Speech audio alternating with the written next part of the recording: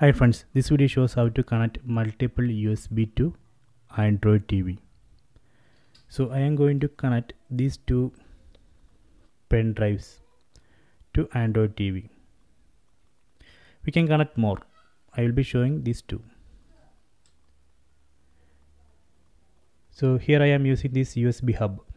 I already connected this USB hub to the TV using USB cable so this USB hub has four USB ports. So I can connect four pen drives to this TV okay. So before connecting the pen drive let me go to settings in the TV then select device preferences. Then select storage.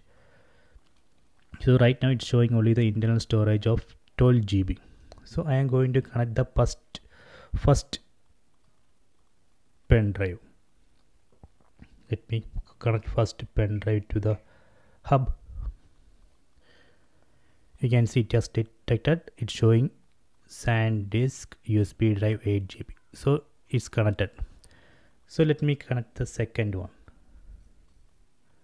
So I am going to connect the second one. So let me connect it.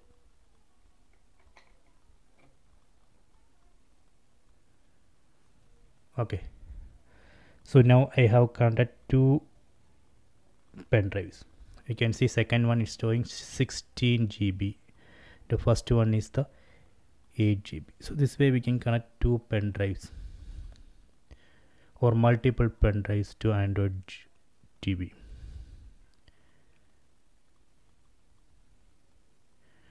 okay. So please try this. So if you want to remove right first we need to eject it. Set the pen drive eject. Then go to the another one second one then eject. So I have ejected the both pen drive then now we can remove it